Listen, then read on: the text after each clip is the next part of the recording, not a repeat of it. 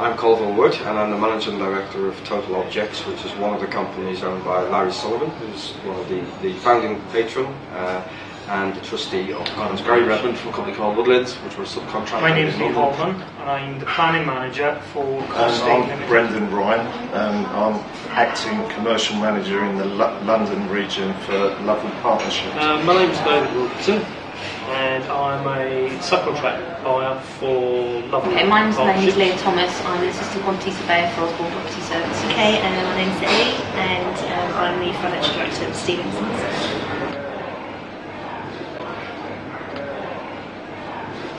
My overriding element is I don't think what I saw was as bad as what I thought it could have been. But I also think, looking at it, I think lots of things that I think we can do is very much achievable. So that's what I've got from the project. Company. So I think that the thing that I'll take away most, the, the, the image I'll take away most was when we were visiting the Kawama project and we were with the pupils in the school and they were singing to us and it was a fantastic uh, experience of, of, of the unity of the school.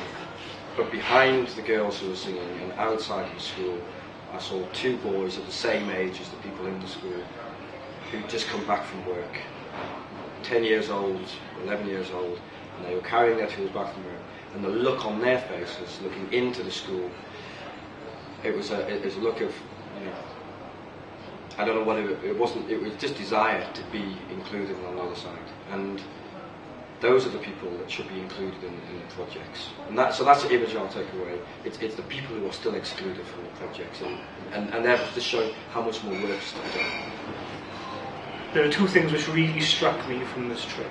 Uh, the first thing is that the, the most vulnerable people in the communities we visited get no support from the government or from the state. Uh, they are basically left to fend for themselves. The second thing, and probably the most poignant thing that struck me, is that individuals within the communities take it upon themselves, with no resources and no support, to try and make things better in that community. On this trip, I've thought more about the different types of construction that can be used, the thoughtfulness and the in- innovation of the building team. I think they're very tight knit community anyway. Um, but I hope that you know developing the primary school and the secondary school hopefully will be done as well. Will give the younger children as they grow up the opportunity to be able to go out and get better work to then feed that back into the community. And I think the enthusiasm between little to big is hopefully something that will develop and it will enrich the whole of them as it goes through its process of, of, of developing over several years. I think what the Coins Foundation is trying to achieve at the Kawama is almost to eventually make itself redundant, to be able to totally step away, knowing that the community is able to support itself financially, it has education, it has healthcare, um, and also that's going to be a role model to other communities to hopefully want to do the same thing.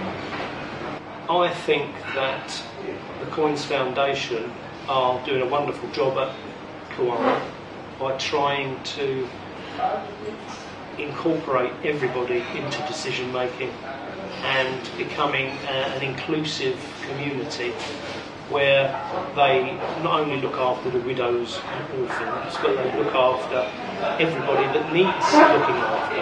And that includes able-bodied children, disabled children, everything.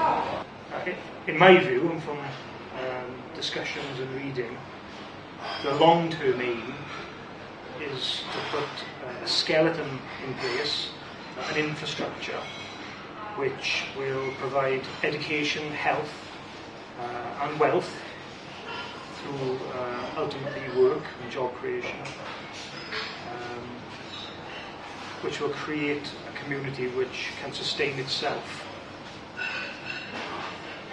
and doesn't need continual interference, for want of a better word, from, uh, from external bodies. So the communities can do it themselves.